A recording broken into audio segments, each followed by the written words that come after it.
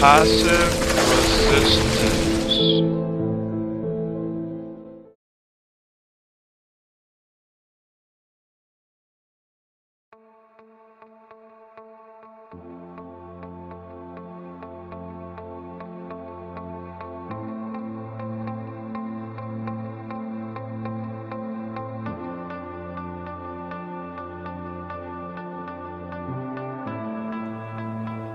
To resort to violence, in fact, can be seen as being the same as your attacker.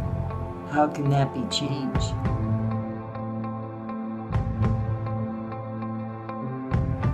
To bring about change while saving lives by not duplicating an opponent's violent ways, not to engage in violence toward violence, being larger in spirit and react with more thoughtfulness to acts of aggression to not strike back with hate, absorbing a blow or two, demonstrating a stronger will and more thoughtful conscience, not to turn aside.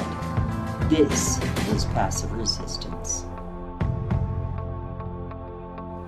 It calls on something in human nature that makes his hatred decrease and his respect increase.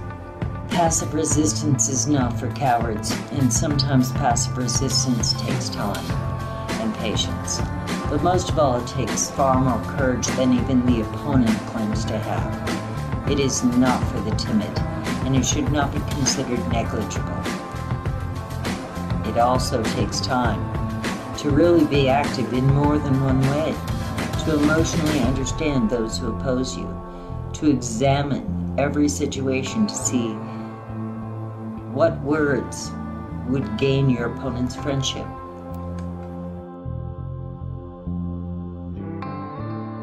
By showing courage and not resorting to violence, we appeal to another's consciousness. The aftermath of violence is tragic bitterness. Nonviolence is the creation of a beloved community, a family sharing the world. The Zeitgeist Movement's actions are directed against the current socio-economic system rather than against persons who are caught up inside that system.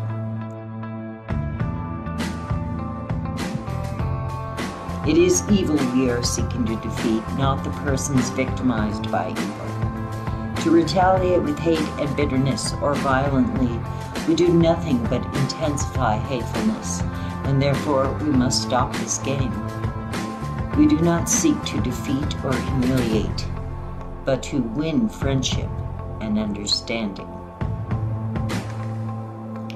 Nonviolent resistance avoids not only external physical violence, but also internal violence of the spirit.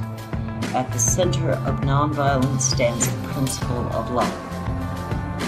It means understanding, redeeming goodwill for all men, a love which seeks nothing in return. It is the love of humankind working. When we love on this level, we love men not because we like them, not because their attitudes and ways appeal to us, but because we share the same needs and home, Earth. Because we are one single family, we are all from one planet. We all have heard there's no way to peace. Peace is the way. But no one told us that peace comes from being able to contribute the best that we have and all that we are toward creating a world that supports everyone. But it is also securing the space for others to contribute the best that they have and all that they are.